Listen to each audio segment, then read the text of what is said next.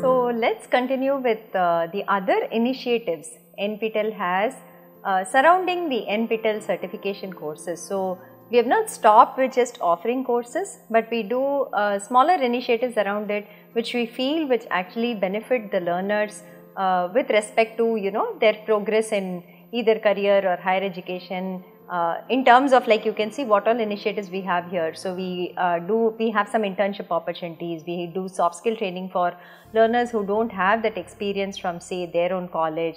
We partner with companies to uh, provide more facilities for our learners and for companies to also learn and partner with us in various ways.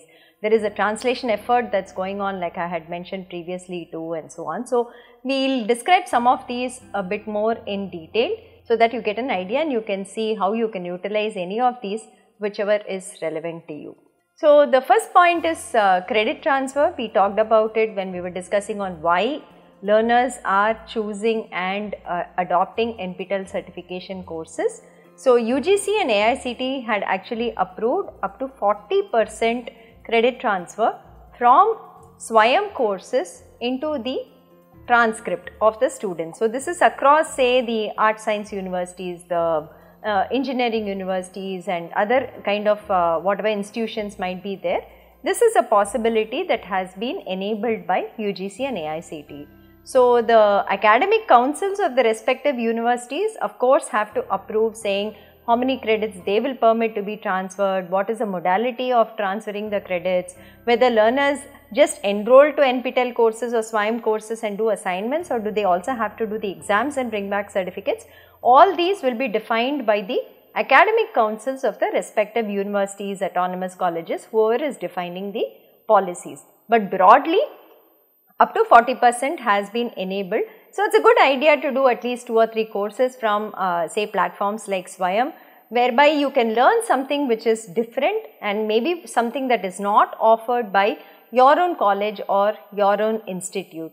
Uh, we also have some recommendations for people who are evolving these policies based on our experience in the last couple of years. So, one of the things we say is uh, do not make uh, NPTEL or SWAYAM courses mandatory in the last semester of the degree program because many times for whatever reasons there might be a delay in the conduct of the exam or if the student is unable to pass the exam then it becomes a showstopper for getting the degree and graduating. So, typically in the final year of the uh, degree program of the student, it is better not to make it mandatory. If the student is you know good enough and can cope up, it is up to them. If it is an option that is available to them, it is much better.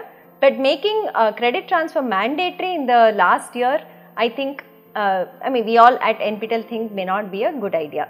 Secondly, when you induct students to start with NPTEL courses, it is better to avoid the first semester as they come into college because the transition from school to college itself is a big change for students. So, it is good if we let them settle in maybe for a semester and from second semester they can start with NPTEL courses.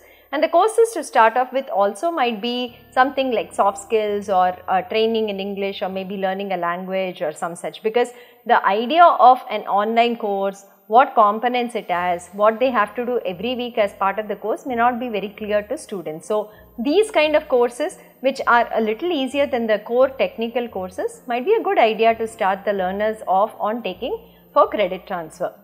And then uh, when the uh, bucket of courses is defined for credit transfer, it is better to keep it as large as possible and as open as possible because one of the ideas of you know allowing credit transfer is for students to be able to explore other areas of interest to see whether they would like to learn and maybe you know pursue some other line of interest through these MOOCs. So, they are already doing some set of courses in their regular program.